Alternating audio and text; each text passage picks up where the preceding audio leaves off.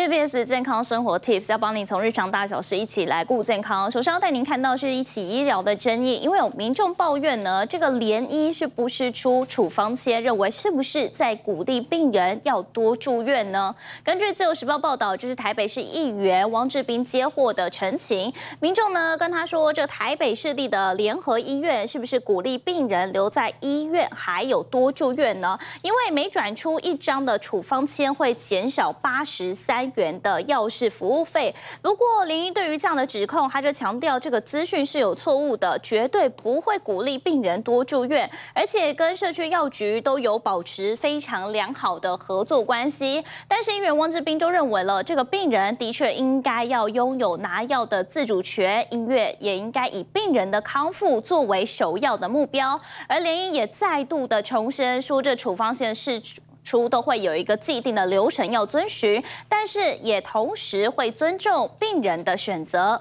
好，接着要带您看到是这个诺贝尔奖，其实先前出炉，但是这三大奖项的得主呢，其实都跟同一所大学是非常有关系的。根据中社报道呢，刚刚有提到，包含了化学奖的得主贝克，还有医学奖的得主鲁夫昆，跟物理学的奖的得主霍普菲尔德呢，其实他们都跟加州大学的伯克莱分校有非常深厚的渊源。以这个六十二岁的贝克呢，其实是因为计算。蛋白质设计而获奖，而鲁夫昆是因为发现微型核糖的核酸而获奖。最后，这个霍普菲尔德呢，则是因为曾经在伯克莱大学里面来任教，所以这三个人都跟同一所大学是非常有关系，因此呢，也被外界认为这大学是孕育出诺贝尔奖的一个非常重要的推手。好，接着要回回到国内，也就是公务人员这个带薪的工价，有机会还要再继续延长吗？因为根据自由时报的报道呢，这立法院就要求全市部应该延议延长包含警察、消防。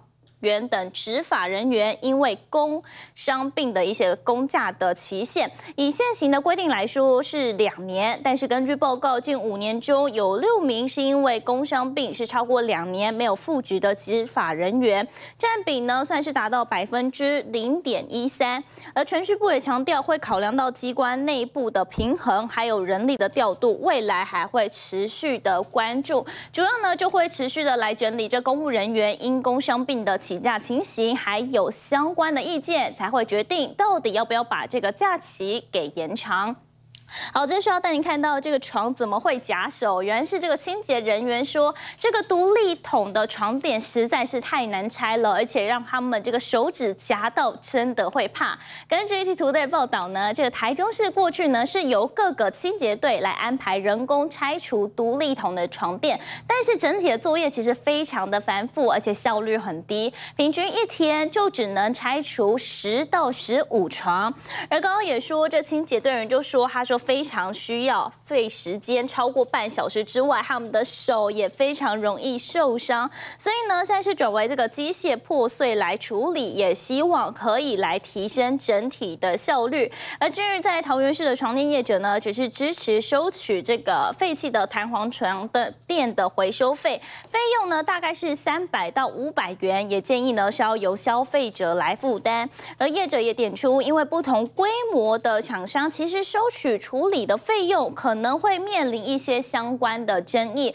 同时也点点出，因为这个床垫的拆除难度实在是太高，所以其实整体的回收变卖的价格也会变得比较低。好，最后是天气状况，要提醒您，这个宜兰现在是进入雨季了，所以这雨具呢，千万还是要随身带着。根据 T 图的报道，就是气象专家林德恩，他在他的脸书上面呢，就发文提醒说，宜兰已经进入雨了。这判断的标准之一呢，就包含这个美国 NCP 的气候模式模拟，预计从十月下旬到十一月的上旬，南海到菲律宾岛附近的热带扰动其实非常活跃。的可能跟东北季风产生一些共伴的效应，造成宜兰还有东北部会有显著跟持续的降雨。此外，他也提醒了，从今年下半年以来，反声音的讯号也越来越明显，而且十月有超过八成是有非常大的发生的机会。所以他也提醒，这个未来天气变化呢还是非常大，所以也提众民也提醒民众一定要多加的留意小心。